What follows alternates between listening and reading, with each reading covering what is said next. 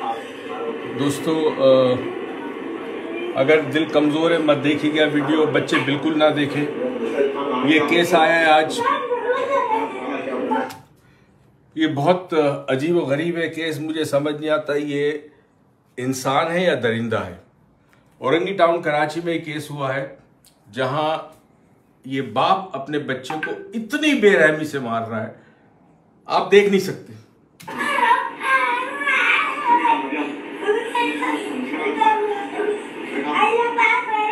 इसका गला घोंट रहा है, उसको पटक रहा है, उसको ज़मीन के ऊपर, और इतनी तकलीफ़ दे रहा है इस बच्चे को, सिर्फ़ इस वजह से कि चाहता है कि मेरा बेटा जाके भीख मांगे। ये आठ साल का बच्चा है।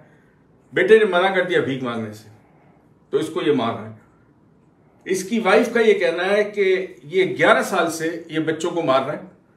मुझे मारता है, अजियत देता है तशद करता है, और बकौल उसके वो नशा भी करता है।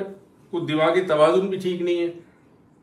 पुलिस ने जो रिसर्च रिपोर्ट है कि पुलिस ने उसको अरेस्ट कर लिया है थाने ले गई है मुझे नहीं पता कि क्या होगा, मगर हम किस माशरे में रह रहे हैं?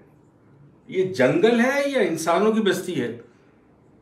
बच्चों के साथ, आठ साल के बच्चों के साथ इतना बेरहमी का सबूत, आप किसी जानवर को भी नहीं मारते इस तरह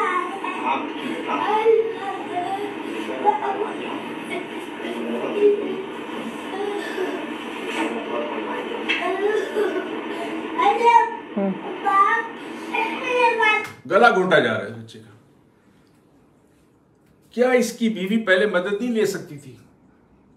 अगर ये शख्स नशा करता है तो क्या इसका यह मतलब है कि इसके बच्चे सारी ज़िंदगी मार खाते रहेंगे और मर जाएँगे? क्या इसके बाप ने भी इसको इस तरह मारा था? क्या इसका बाप भी नशा करता था?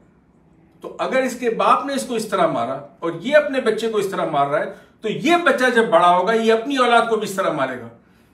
कहाँ ये सिलसिला रुकेगा? कहाँ जाकर?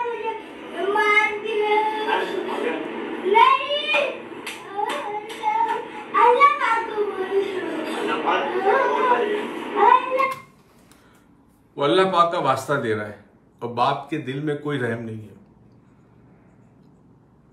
एक शॉकिंग चीज़ ये कि जो शख्स ये वीडियो बना रहा है, उससे ज़्यादा बेगैरत इंसान कौन होगा?